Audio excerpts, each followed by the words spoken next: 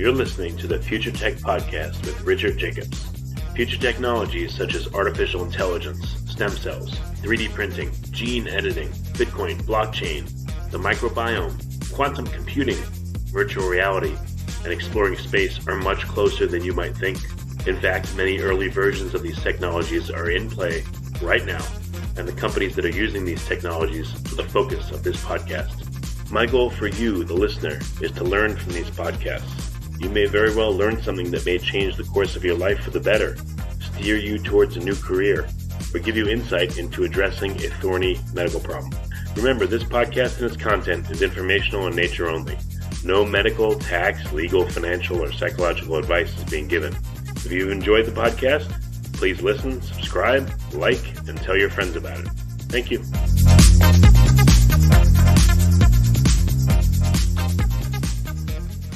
Hello, this is Richard Jacobs with the Future Tech Podcast. I have uh, Dr. Florian Neukart. He's the principal scientist at Volkswagen. So, uh, Florian, how you doing? I'm very good, thanks. I hope you're fine as well. Yeah.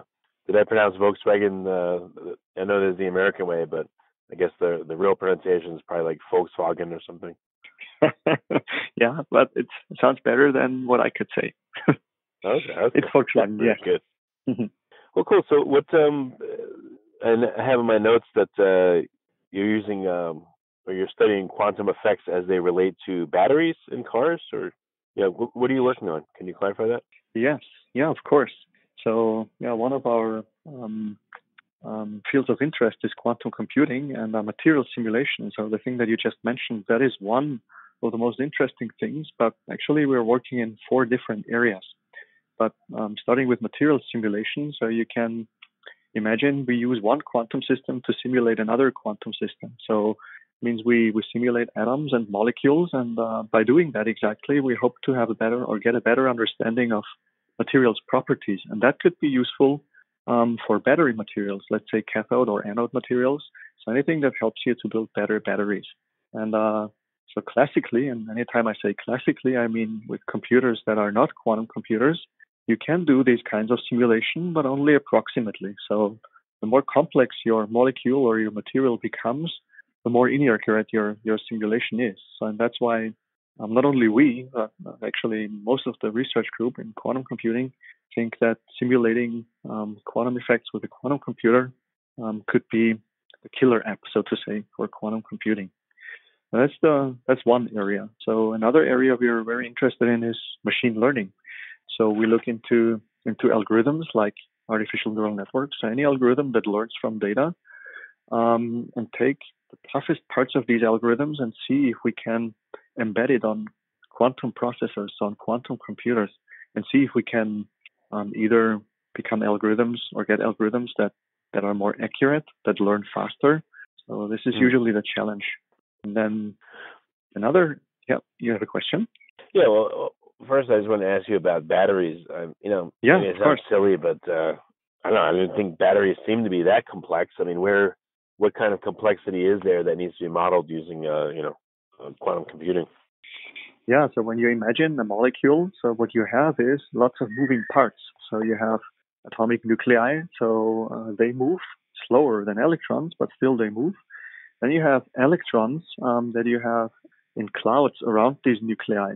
And these electrons interact with all the other um, electrons and they interact with the nuclei. And uh, the more atoms you have, the more complex these interactions become. This means that um, at a certain degree. So let's say we, we're interested in simulating um, molecules with 1,000, 1,500 electrons. Um, it becomes impossible to do that with, with today's computers. So the computers that we use doesn't matter if it's a data center or just a fast computer under your desk. It's intractable. So and uh, you must make some assumptions. So you can assume, for example, that the nuclei um, they don't move, but in reality they move. So they're just a lot slower than electrons. But what we really want is simulate this behavior exactly. And uh, what we are after is is called the ground state. So any physical system over time will take the ground state, so the minimum energy configuration, and this is the best approximation to the wave function. So the thing that we want to understand. So, and uh, that's why we hmm. use quantum computers to simulate that behavior exactly. And still, we're not there. So we're not um, um, um, approaching industry relevant materials within this year or next year. But what we can do is simulate small uh, molecules like lithium hydride, beryllium oxide. these are not battery materials, but these um, simulations they give us an understanding of how we can use quantum computers um, to to solve such kind of problems. And once we have more powerful quantum computers over the next five, ten years, um, then we can use these algorithms that we develop today to simulate um, um, industry relevant materials. Hopefully, so that's the that's the idea behind it. Even in um, simulating just a molecule, I mean, what I, I guess you've seen quantum simulations of uh, just a molecule, like you said, lithium hydride. What have yeah. we learned from those kind of simulations that we didn't know before? Do you see like structural elements so, or other elements or things that you know I guess weren't apparent? Mm-hmm. Like, what have you learned from that? So here it's so for simple systems we can still do that classically and we can do it exactly but the the learning that we get out of it is how to use um, existing quantum hardware um, to solve such kinds of problems. So how do you how do you develop um, an algorithm that does exactly what you want, so that that finds the ground state of a molecule? So and that's different because right now we don't have a different compared to classical computers because we don't have programming languages specifically developed for quantum computers. So we still operate on a bit level. So we we access single bits and uh, we have to represent our problem, whatever it is, as a graph, you could say, um, or as a sequence of gates, depending on which which computer you use. So there are annealing systems and gate model computers, and uh, those function slightly differently. But for this specific problem, you may you may use both. So, but still, we have to access single bits and find a way to represent the problem such that that we can solve it as a um, on a bit level and represent it as a bit level. So, and that's um, that's the the biggest learning we get out of it. So, how do we write algorithms that can execute something on a quantum chip. So for a battery, what would you be looking to optimize? Just the efficiency of the battery, or you know, what what would this show you? So when you find better materials, so one thing that could be interesting is um, so you want to um, increase the durability. So you want to be able to recharge it more often, or you want to maybe increase the range, so get more energy out of it and store more energy in the battery.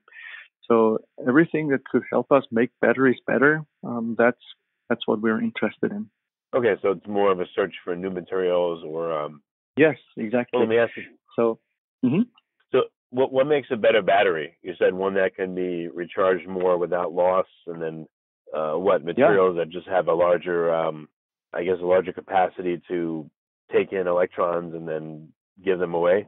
Or what you know, what yes. elements make a battery better than others? Yes, so it's the materials that you use, so the battery chemistry that you want to improve. So that's specifically what we're after. And uh, right now, for the classical simulations, you can make some educated guesses. So you can um, stack together molecules on um, a limited number of atoms that you know could be interesting for battery materials. But um, in reality, so I'm um, not a, a chemist by education, but um, we have chemists in our company, and those are the guys I talk to when I want to know what what we have to do. In reality, um, what what you really want to do is take as many combinations of atoms and stack it together, so possible combinations to molecules, and see if any of these could be useful for whatever you want to do with your battery. So whatever, so let's say you want to find a new cathode material, you want to figure out what combination is the best for this. So right now we only use a limited number of atoms that we stack together and it's based on educated guesses, but in reality, we don't really know. So ideally, um, we can we can simulate through the whole periodic table and see if we can find something that's that's better than what we have now. Okay. And what happens when you uh, recharge a battery? Why is there uh, over time you can't recharge it anymore? Why are there losses? What happens there? So over time, you'll see um, cracks in the microstructures of the materials. So it's like using uh, so anything that you use over time, it will degrade. And this is the same with batteries and happen with the battery chemistry. So um, you may see this with your smartphone. So over time, the battery gets worse. So the more often you recharge it, um, the worse it gets. So this is because um, tiring of the materials. So and uh, it's just um, using it too much. So and what we really want is maybe something that's more durable. So, okay, that makes sense. No, it's true. I mean, as I've uh, as I use and cycle a battery, let's say in a smartphone, it yeah. it may charge, but it uh, it you know the battery goes much much faster. The lifetime seems to like be cut in half after a while, and then it gets worse and worse. It does, yeah. All right. So um, you mentioned a little bit in your talk that uh, you said the nucleus of an atom moves, not just the electrons. Can you uh, go into a little bit more detail about that? What did you mean? Yeah, of course. So um, you can imagine um, a molecule or the electron surrounding um, an atom. It's in constant move. So it's actually uh, the case that um, the position of each of the um, electrons is associated with a certain probability, so where you want to find it. So, um, or where you will find it once you look at it, basically. So, and uh, what this means is that um, um, everything you could imagine it somehow as being moving parts. Um, so this, this molecule is not static. it's it's all its parts are constantly moving. So, and uh, electrons move faster compared to nuclei, and nuclei slower. And uh, what we do with our simulation, for example, is um, we um, move um, the nuclei apart. So say, what's the um, energy surface when it's one angstrom apart? What's the energy surface when it's two angstrom apart? Or the energy configuration. So in this, when we when we do this in our simulation, then this gives us the understanding of, of the energy of the whole energy surface of the molecule that we need to um, to understand materials properties better. Hmm, okay. So what what else are you uh, using to model? You said batteries uh, and what else? Yeah, so machine learning is one of the areas that are very interesting. So where we try to um, either find algorithms that that are that don't have any classical counterpart. So where we use the topological properties of a quantum chip, and um, so let's say for a clustering algorithm, um, when you there is a concept or an algorithm in, in machine learning, it's called a self-organizing feature map. You can imagine it as being a map of neurons um, stacked together, and uh, you send a signal towards these neurons, and the area where it fires strongest, um, this will give you the cluster. So it's very often used in um, handwritten, handwritten digits recognition, for example. Um, but it turns out when you look at a quantum chip, and it doesn't matter which one it is, it looks very similar um, to a neural network. So you have nodes and uh, you have connections between these nodes. So your qubits and weighted connections between these qubits. And uh, when you when you look at that, then it only becomes natural to to try to embed a neural network on a quantum chip and see if we can get some advantages. So maybe train neural networks faster or get configurations that are more accurate than the um, configurations that we've had classically. So that's one of the areas where we think quantum computing will help us in the future. So it's not that we want to have our chips or quantum chips in, let's say, self-driving vehicles, um, but we want to train models with quantum chips and take these trained models and then embed it or use it in in whatever product um, it could be useful for. And then, so hmm, that's interesting. Yeah. Um, I guess in a classical computer, when it's running a neural network, it's it's a very iterative process in order to get to an answer. It is, but yeah. Quantum computing you get more simultaneous possible answers, or you know, you could explore, I guess, the uh, the surface of the answer space. So yes, is it is it because it's less iterative, there's less steps that it can maybe find parts of the answer space that you know a classical computer couldn't? Yeah. So um, we could show in, in one of the um, examples that we developed that you could assume multiple configurations of neural networks at once. So let's say 10 configurations of neural networks, so with different weights of, of one neural network, and figure out in one function calls and one call to the quantum chip which configuration of these 10 configurations is the best. So if you compare this to the classical world, you would maybe have to evaluate all 10 configurations separately. And again, you can make some assumptions and say maybe I already only look at parts of the configuration and can tell that this one is no good. But maybe you um, then still have to evaluate seven configurations. And that's different with a quantum chip. So it's still an iterative algorithm. So the one that we developed, and there's not only the one we have, so lots of other research going on in terms of neural networks. But the one that we have, it would give you out of how many configurations you're able to, to map on a chip, would give you the best configuration with one function call. And then you can take this best configuration and maybe introduce some jittering around the weights of this neural network. And then again, create 10 neural networks and get the best configuration out of it again. So, and um, here, um, the, the possibilities today are limited because of the, the sizes of the chips. So what you could do then is um, maybe just use the quantum chip for pre-training and then refine the neural network with a classical algorithm. So use this the result produced by quantum chip to uh, as an input for a classical algorithm and then refine it and continue training. But still, it's hmm. it's an open research field. This is one one way to do it. So this is not the only way. So another thing that we could show is with reinforcement learning, so um, that we um, could find the optimal policy, or actually we wanted to find the, the optimal policy. So imagine you have a self-driving vehicle and you want to um, train this self-driving vehicle to execute parking maneuvers. So then one way to do it is um, you have a driver and record his behavior or her behavior, um, let's say one million times. And anytime um, good parking maneuver was executed, you reward this behavior, and the bad parking maneuver, like hitting a hydrant or um, not really being um, exactly parked in a parking spot, is bad behavior. So um, you punish it. And this could be used for an algorithm to learn the optimal behavior. So it's called the optimal policy, what to do in any given situation based on past behavior. And uh, so what you can do is, um, instead of taking this driver, uh, make simulations. So simulate 1 million parking maneuvers and use this as a training data.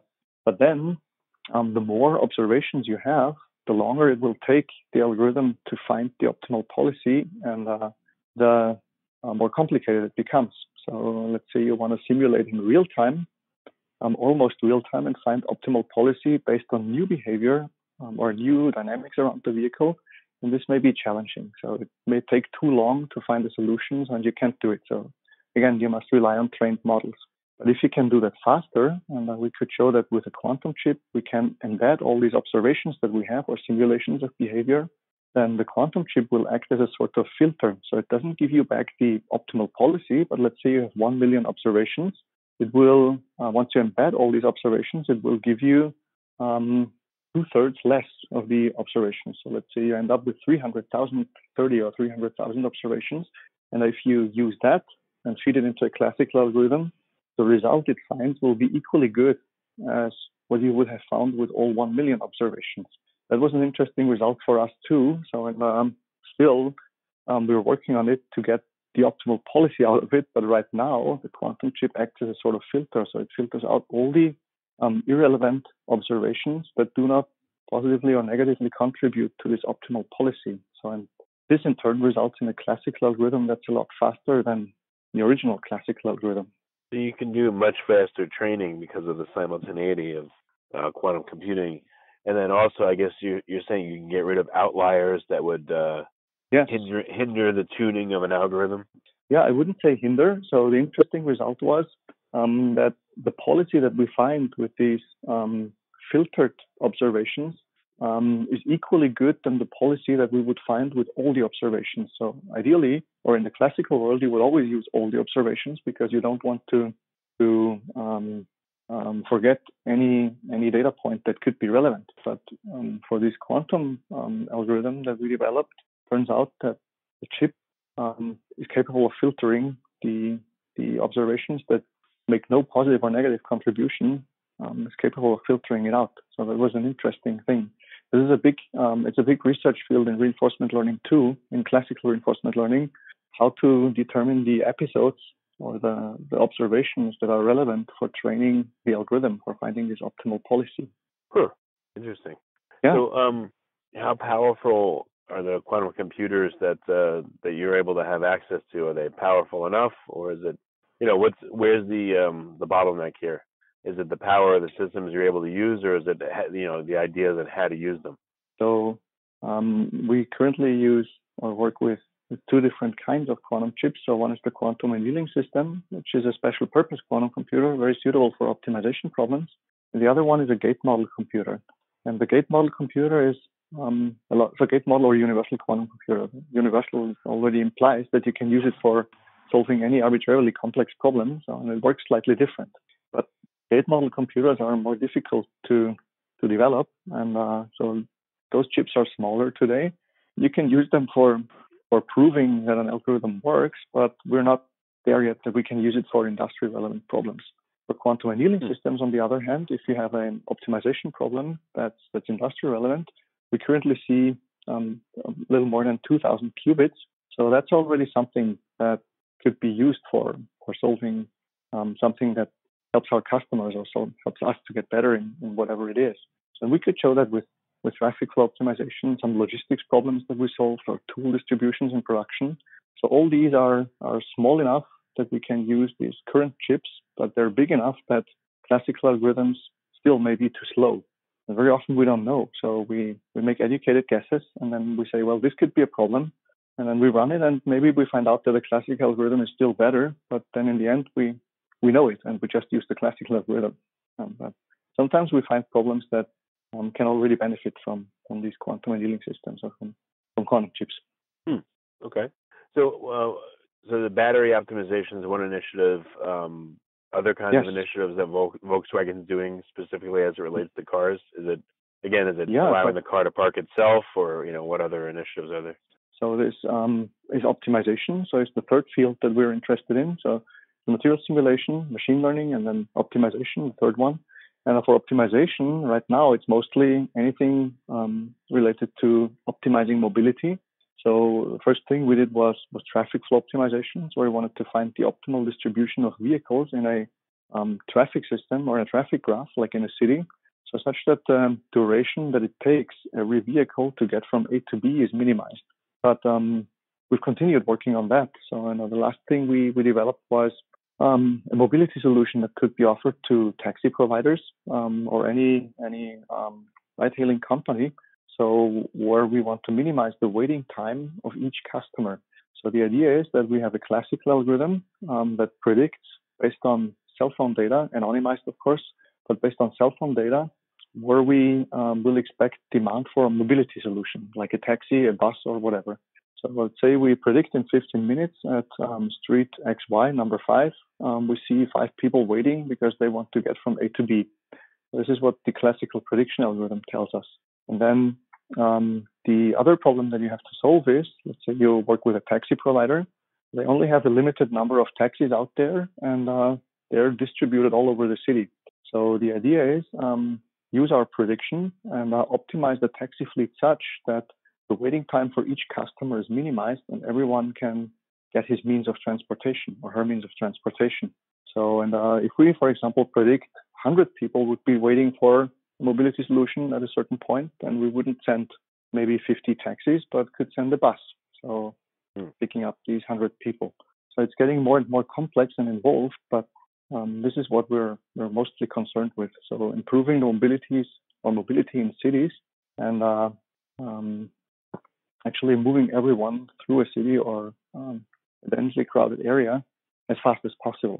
So and the next thing we'll we'll be working on is assigning different modes of transportation, which is again a very nice optimization problem. So if you imagine you have an app on your phone and you just add, I want to go from A to B, so similar um, to some map solutions that are already out there.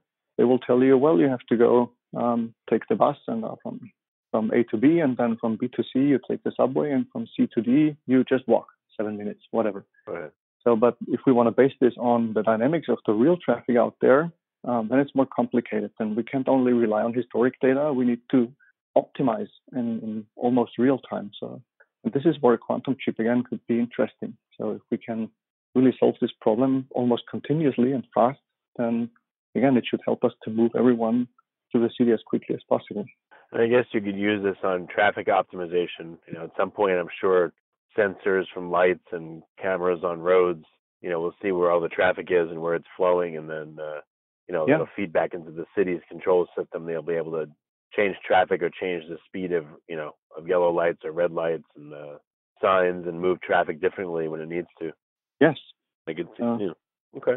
That could be um, interesting. Well, yeah, is uh, is Volkswagen? I guess Volkswagen is going to be using this technology for obviously for self-driving cars, maybe uh, you know for fleet management and that kind of things as well, right? Yeah, we may be. So um, one prototypical solution we developed was so as a sort of as an additional layer um, for assigning different velocities or optimal velocities to vehicles, so speed. So imagine you you could have self-driving zones in cities. There will be this this phase of transition where not all the vehicles are self-driving. So maybe part of the fleet that's out there is self-driving, and uh, part of it is still controlled by humans. But if you if you imagine you create self-driving zones in cities, then you can remove the whole traffic infrastructure. So you can remove all traffic lights, and uh, of course the cars they can sense what happens around them. So with lidar, cameras, radar, ultrasound. Um, so if something dynamically happens, like um, a pedestrian crossing the street, then the car must sense it and brake, of course. But imagine you have um, an intersection without traffic lights and you want to move all the vehicles um, through this intersection coming from all directions as smoothly as possible. So you want to make sure that the trip is smooth, um, but also as close as possible. So because you want to move as many vehicles through the intersection in um, short time as possible.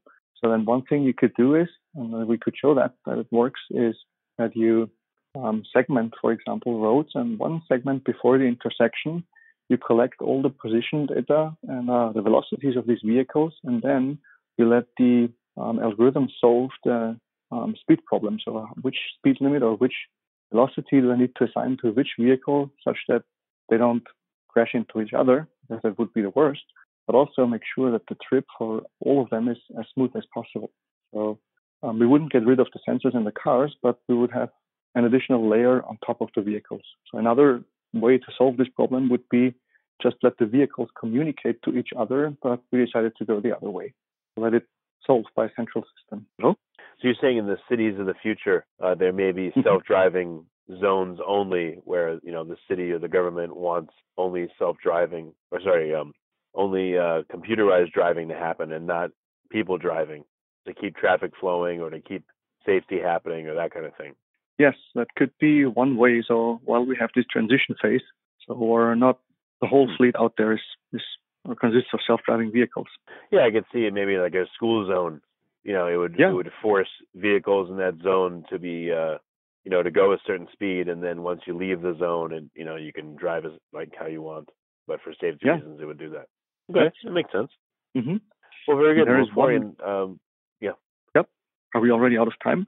then I oh yeah, well, yeah. There was a lot of initiatives you're working on. What was what was the uh, the last one that you wanted to talk about? We'll cover that briefly.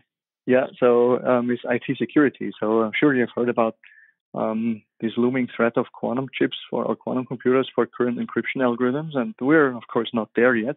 But still, the question that we need to ask ourselves is: so what if we have data today that's encrypted with um, a current encryption algorithm, and someone steals it today? Is it a problem if someone is able um, in 10 years to decrypt this data, um, the, or decrypt the uh, or crack the encryption algorithm? And if it is a problem, which it is for us, then we already need to look into quantum secure algorithms today. So anything that can withstand a, a quantum attack. And this is the fourth and last area that we're very interested in. So find classical algorithms or encryption algorithms that um, help you to withstand a quantum attack. And there's one big area. It's called lattice-based encryption.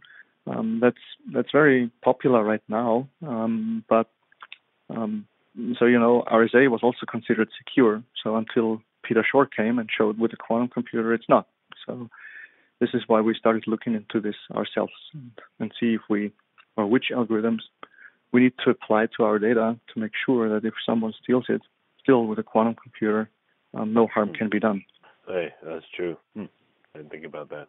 All right, well, very good. Um, what are some resources for listeners? Because we covered so many different areas. You know, how can they find out more about the particular areas that interest them? Um, we have a couple of publications out there. So we can, so basically everything is on arXiv. Um, if you Google for Volkswagen and quantum computing, then um, most of it should show up on the first or second page. So um, I think that should help. And uh, okay. occasionally you can see us um, giving different talks. I just heard from so our, team is, is not spread over the whole world, but half of it is here in the US and half of it is in Germany. So anything happening in Europe is covered by the German side, and everything happening here in the US by the US side. And occasionally you can can see one of our team members giving a talk on, on the latest work we did. All right, very good. Well, Florian, I appreciate you coming and uh, a lot of interesting new stuff you're looking at. So thank you. Thank you for your time and interest.